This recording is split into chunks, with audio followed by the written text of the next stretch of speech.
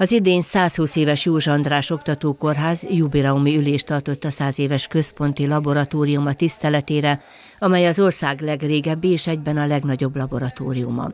A csütörtök délutáni konferencián dr. Reisner Éva elmondta, hogy náluk 860 ezer beteg fordul meg éves szinten. Egy betegnek 10-15 vizsgálatot is előír az orvosa, tehát több mint 10 millió esettel dolgoznak éves szinten. A kórház szakmavezető forvosa kiemelte, nagy fejlesztések valósultak meg az elmúlt időszakban.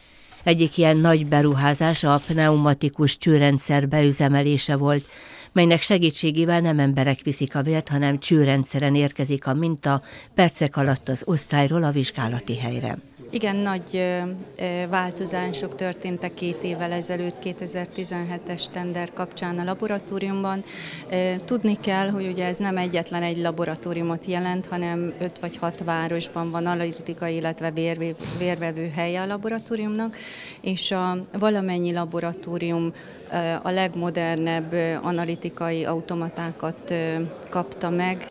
Az ünnepségen a diagnosztikai algoritmusokról, referenciatartományról vagy a konzulens képzésről szóltak szakmai előadások.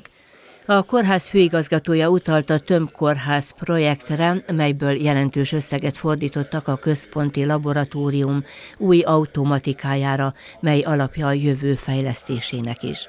Azt gondolom, hogy a, egy laboratórium, egy intézmény kórház életébe eh, nagyon fontos és nagyon lényeges. Sokszor nem látható ez a munka, de hihetetlen fontos, hisz a gyógyításhoz szükséges eredményeket azt eh, a laborból kapjuk meg, tehát nagyon nagyban segít mind a diagnózis, mind a terápia felállításába. A Szabolcs-Szentmárbereg megyei kórházak és egyetemi oktató kórház minden telephelye számára elérhető a jubiláló laboratórium, hiszen mind eszközparkjával, mind szakembergádájával szolgálja az integrált intézmény valamennyi egységét.